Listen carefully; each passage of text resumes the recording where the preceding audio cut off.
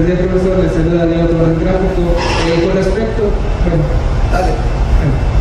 con respecto a los jugadores de Alianza, Chalatenango y Águila, que van a tener un partido entre semana, ¿cómo está el trabajo con el para este? Bueno, eh, los de Alianza no están acá. Eh, que eran Narciso, Mario, son los únicos de Alianza.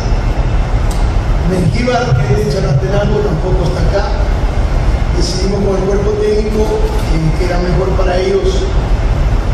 que quedaran en sus clubes porque tienen partido el miércoles.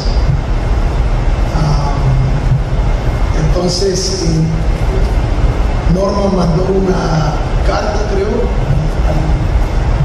a Alianza y a Chalatenango que no había ningún problema, que los jugadores se podían quedar eh, en sus clubes esta semana porque es una semana eh, corta y eran partidos que, de acuerdo al calendario, no estaban eh, programados cuando nosotros programamos el microciclo.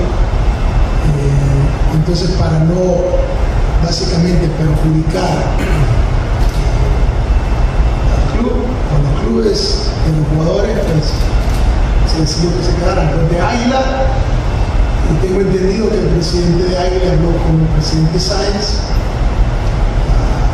No estoy diciendo que Alianza no quiso prestar los jugadores. Alianza sí los iba a prestar que vinieran. Eh, pero con lo de Águila, eh, yo hablé con, con Vini, el técnico, nos pusimos de acuerdo y por eso los jugadores de ellos están acá.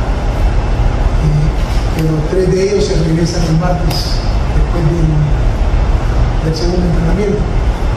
Los demás se quedan hasta el miércoles. Profe, buenos días, William Huella para Canal 4. Porque ya conocemos cómo ha quedado ubicada la selección en la Copa Oro, también nos gustaría conocer cuál es su objetivo, el objetivo de la selección en esta Copa Oro. avanzar lo más que se pueda. Siempre me gusta básicamente ser precavido. Lo importante es salir del grupo a la siguiente ronda. Esa es la meta primera. Ya después veremos si salimos del grupo pues, pensando eh, lo que se puede hacer en la otra ronda, pero la meta de nosotros es salir, salir del grupo. Solo clasifican dos. Entonces queremos ser, sea el primero o el segundo para poder eh, salir y, ver si podemos hacer algo más de lo que se hizo en la última Copa.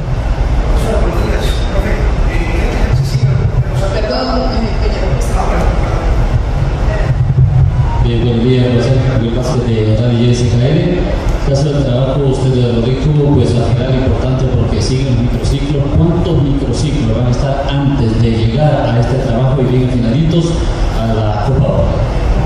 Bueno, microciclos, eh, de esta semana y después la última semana de, es el 30 de abril al 3 de, mayo, es el último microciclo, ya después ya no quisimos programar ninguno porque empiezan las finales ¿no? aquí en Salvador. Y después de, de las finales queremos concentrarnos en 7, creo que la final es el 4 darle dos días de descanso a los jugadores, concentrarnos en 7 y llegar lo más pronto posible para la gira que tenemos. Y de irme solo para Copa de Oro. Eh, y también eh, los equipos de los jugadores que vayan quedando afuera, entonces ellos se van a ir, se les va a dar un par de días de descanso se van a empezar a trabajar con ellos antes de salir para Estados perdón, para Asia, si es que se concreta eso, para poderlos tratar de ver cómo hacemos para trabajar con ellos, que lleguen después que hayan terminado con su equipo, pues un poco mejor esa Copa de Oro al, al viaje de Asia. Buenos días, profe. Gonzalo Rulla, SKL. Dos interrogantes. La primera, ¿qué piensa del grupo del cual se ubicó en la Copa Oro? Y la otra, eh, ¿qué tan cierto, qué posibilidades hay de que el campamento se concrete fuera, y sobre todo que en las zonas lejanas, lo que tengo entendido ya está casi todo. Ah, creo que la normalizadora lo va, lo va a anunciar. No sé si ya lo anunciaron, yo no tengo Instagram. Alguien, alguien me dijo que había sacado el Instagram.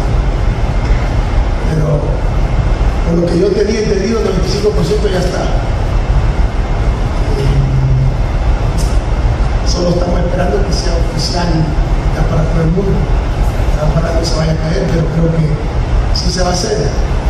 Y aunque no se hiciera, al final tenemos que salir de aquí el 7, el 8, el 9. Última pregunta. ¿Cuál era la otra? No, había otra. Sobre el grupo. El grupo, mira, lo, podemos ver de esta manera.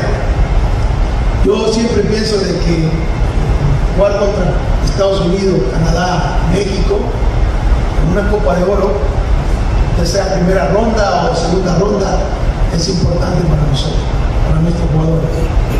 Se dio el caso que quedamos nosotros en el grupo C y, y nos toca básicamente tres selecciones con las que vamos a competir para un boleto en la Copa del Mundo, para clasificar. Así que eh, creo que es para nosotros un grupo importante medirnos contra ellos, Copa de Oro, pelear por algo, así como lo hicimos en la octagonal, y veremos cómo estamos. Eh, ya nos conocemos bien. Eh, para nosotros es una oportunidad tratar de ver si podemos ganarle a Costa Rica y a, y a Panamá.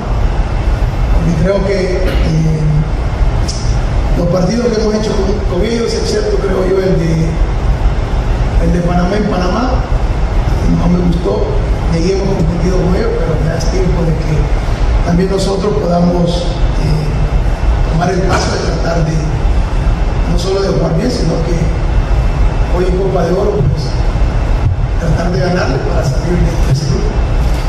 Mi profesor, una segunda pregunta y última que se llama la referencia en caso de si se logra, que esperemos que sea así porque es ganancia para nuestra selección ese, esa tira importante de Brasil, se rivales como Japón y Corea. ¿Cuándo se estarán eh, concretando y qué fechas se estaría jugando?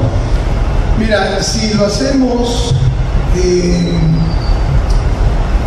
no, tengo exactamente la fecha, pero creo que sería tal vez entre el 16 y el 20 los dos partidos de junio. Uh, y ojalá que nosotros eh, podamos abrir el 25 o el 26 Copa de Oro, así nos da un poco de tiempo de viajar de regreso quitarte el jet lag de 18 horas o de 15 horas y ya es prepararnos y llegar a entrenar y a alistarnos para el primer partido. Los de Japón y de Corea sí, son, si podemos hacerlo contra ellos es importante. Son de los selecciones top en el mundo ahorita. Uh, y creo que nos va a servir, pero muchísimo jugar contra ellos, eh, con la clase de jugadores, el que tienen esa selección.